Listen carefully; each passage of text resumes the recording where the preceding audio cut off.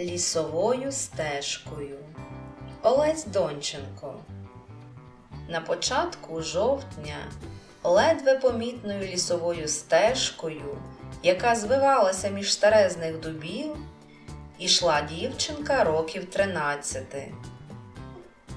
На ній була картата новенька ковтина, синя спідниця й біла хустинка, як терен цвіт. І ця хустинка різко відтіняла чорні брови дівчинки, її засмагле обличчя й світлі очі, такі світлі й зелені, що в темряві вони, мабуть, блимають, як світлячки.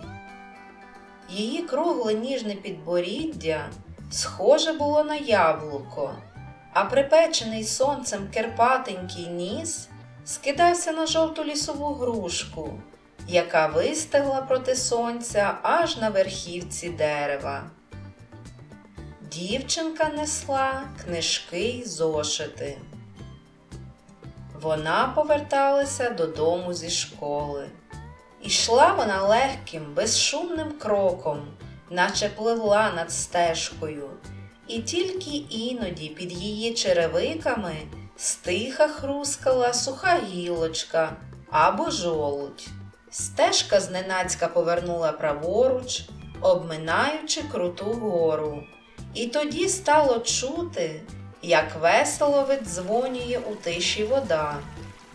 Прозорий струмок перетинав стежку, і через нього було перекинуто кладку з сухої деревини.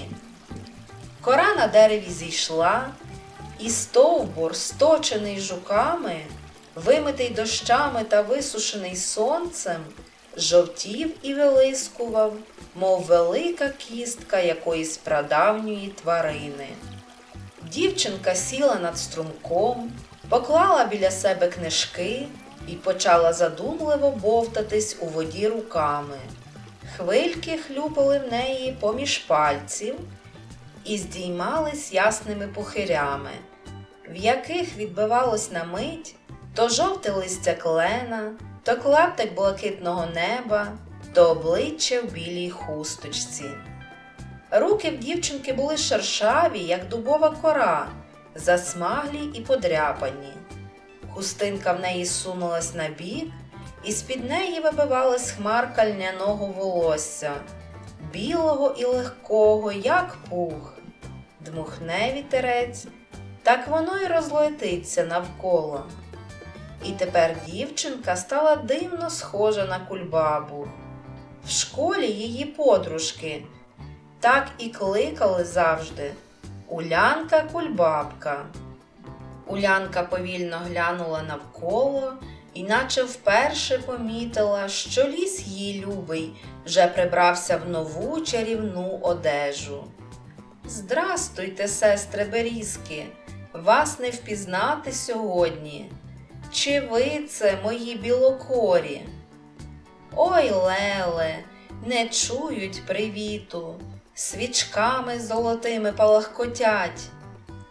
Ой, який же ти став тепер, мій лісе, брате, думає дівчинка. Як же ти пишно прибрався? Ось ти яка осінь у лісі. Улянка підвелася підхопила книжки і, перейшовши через струмок по сухій деревині, звернула із стежки. Вона пішла навпростець, продираючись крізь ліщину, зриваючи інколи золотавий горіх, який траплявся під руку.